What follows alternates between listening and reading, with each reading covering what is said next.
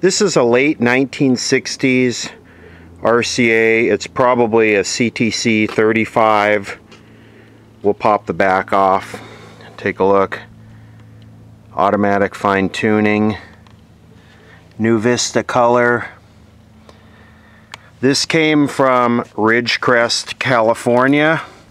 Ridgecrest is fairly famous right now because of the recent earthquakes out there that rattled a good part of California.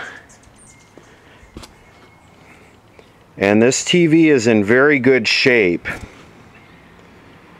Now when I picked it up, I actually paid for it. It was on Facebook Marketplace. I picked it up, uh, I paid for it several months ago and they held it for me because I was the only one who was interested in it as a television. They had lots of people contact them that wanted to repurpose it and that's huge out here.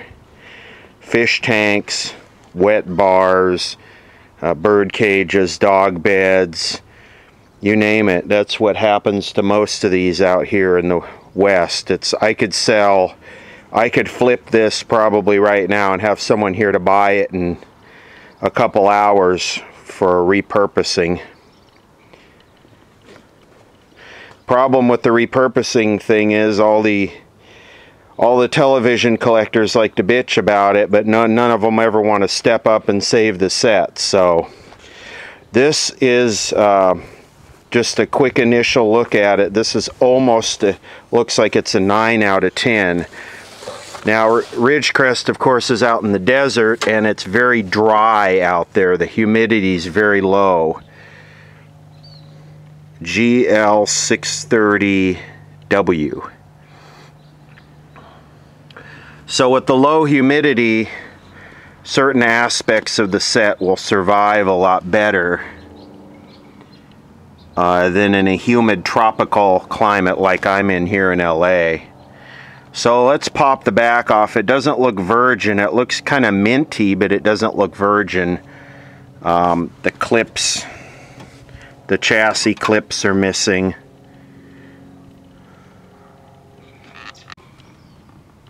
Ben Y.S. Lee, China Lake, California. China Lake is the military base right next to Ridgecrest. Got hit really hard in the earthquake. There's one bolt missing here, one chassis bolt. This is looking at the bottom. They put that on the bottom. It's got that desert dust in it. And this is a CTC 38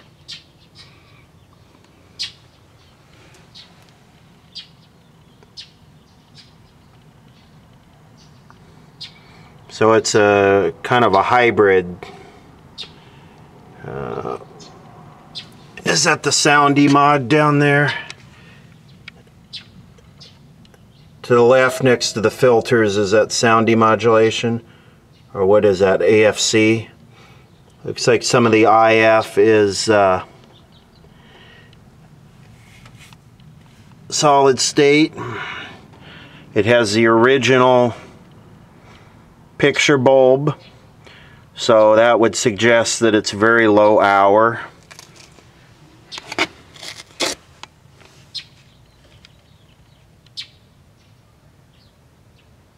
Lots of 6GH8s RCA really loved 6GH8s and most of them look like original tubes. Let me check. That tube right there actually looks like it says Toshiba on it.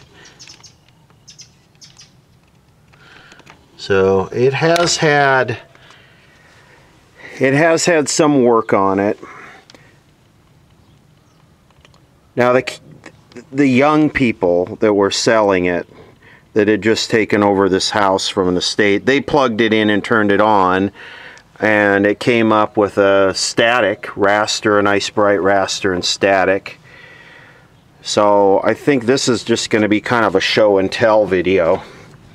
But this thing is in really good shape, maybe in maybe an 8 out of 10 or an 8.5. There are some scuffs in the cabinet, but it's all there. It actually looks like maybe some work has been done in here. A little bit of wax drippage. I think the flyback would tend to fare a little bit better in low humidity.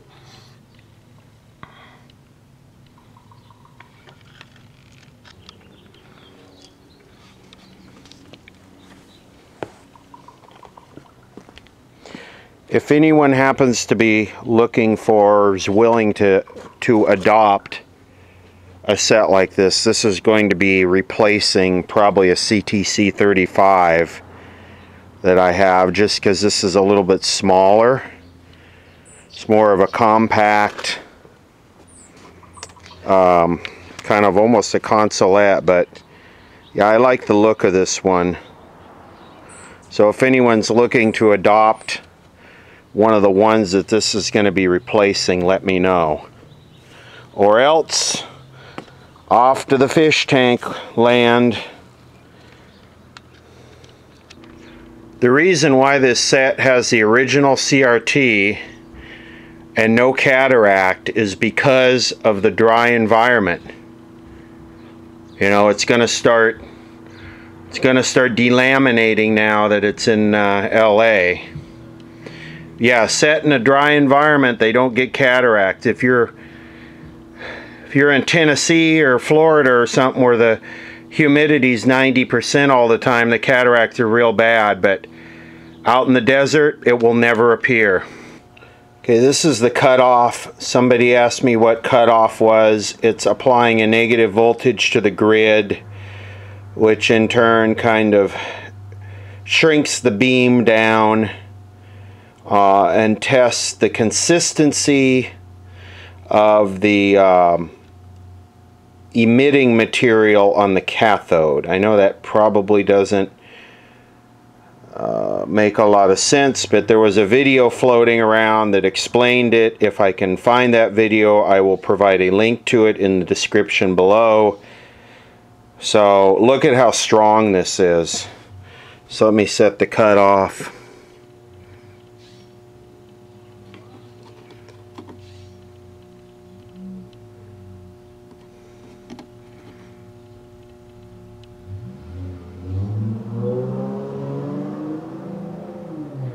And so, let me make sure. You got to get it, you got to get it right on the uh, little line there. Let's see. So that's the CRT strength. It's like brand new. This is a low hour set. It's a really low hour set and it's too bad I'm in this damp environment where it's going to start getting cataracts. It's, you know, like I mentioned previously, this, this here is a CTC 35 and it's, uh, you can see the cabinet's a little bit bigger. It's got speakers on both sides. So if somebody wants to adopt a working CTC RCA CTC 35 color console, let me know. Los Angeles area when I get time I'm going to dig it out of here and if somebody doesn't want it well maybe it can become a humidor or a wet bar. We have our digital stream converter box and our rabbit ears. Because you know color rabbit ears are different from black and white rabbit ears and those rabbit ears are different from digital rabbit ears. So you have to make sure you have the right antenna. Okay, I'm being sarcastic. Here we go. Nice.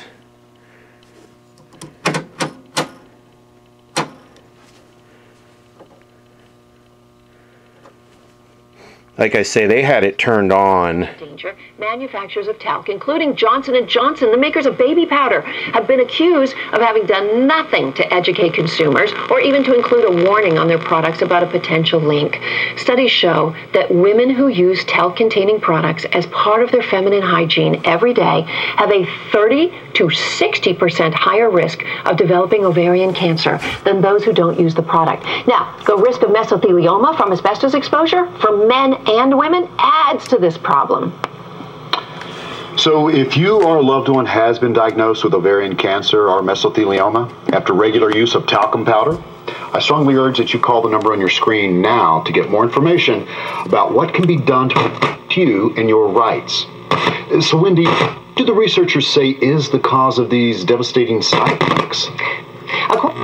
The reason for the ovarian cancer risk is that talc particles actually migrate to the ovaries. And since the particles are slow to break down, they can remain intact in the ovaries for years. In the ovaries, these foreign particles create an inflammatory response, and this creates conditions which increase the likelihood of cancer growth. With mesothelioma, testing reveals asbestos fibers can actually be inhaled into the lungs from exposure to talcum powder, and this can cause a rare and deadly form of lung cancer.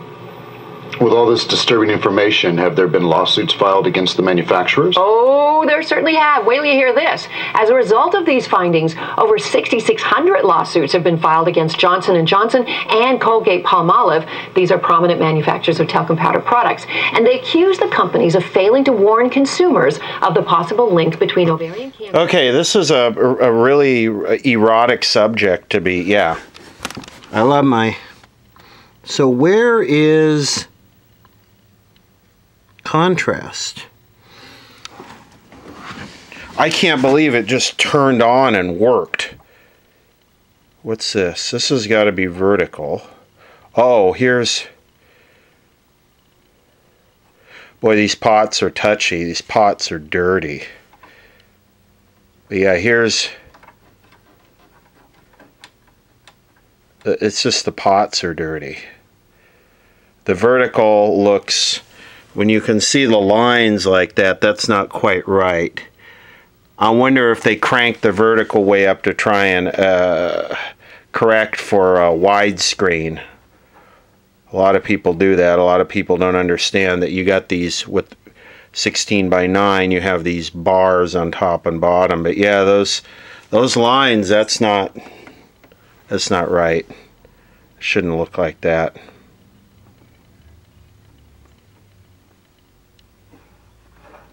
Let's see.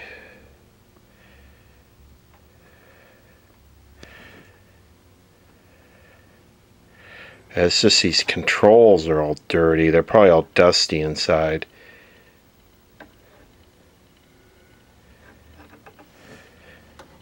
or someone you love has been harmed due to the use of talcum powder products, you need to call the number on the screen right now, as you may be entitled to significant compensation for your injuries.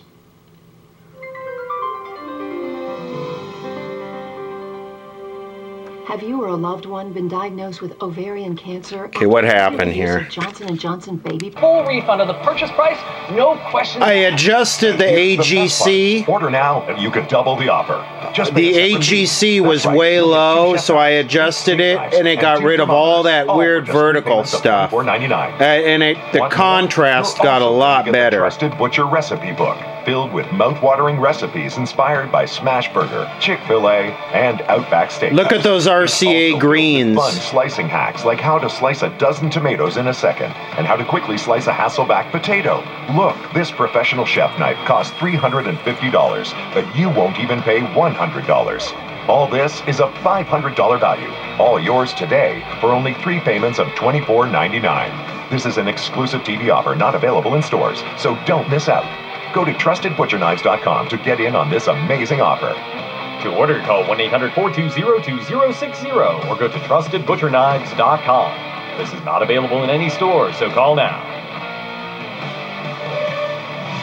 All right, guys, so next, this blade is so strong and so sharp it can even run right across a metal grill. So slice through this one, slice through that one, and look, mm, guys. Look at that. This is the perfect knife. No, but wait real quick. Let me just take the same knife that just went across this grill from the steak to the tomato. Look at this. Watch this. The same knife. One-handed, mind. One-handed. I'm just, you know, Look at that. right? Wow. Let's see how thin it actually is. You can still read the paper. Superfood contains an amazing blend of fruits and vegetables that are 100% grown in America, USDA certified organic, farm to table fresh in every scoop. Just one scoop of grown American superfood is the fast, easy, delicious way to double your servings of fruits and vegetables every day to help improve your chances of better health and a longer life.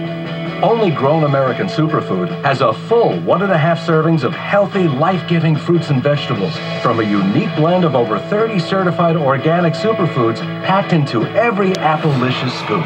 No more wasting time and money to shop. No buzz in the audio. Let's get back here and get the money shot. Just works. Glow Got that little bit of blue glow going on in the horizontal output tube. Should probably check the cathode current on that guy before I run it too too long. But uh, yeah, that's a look at a.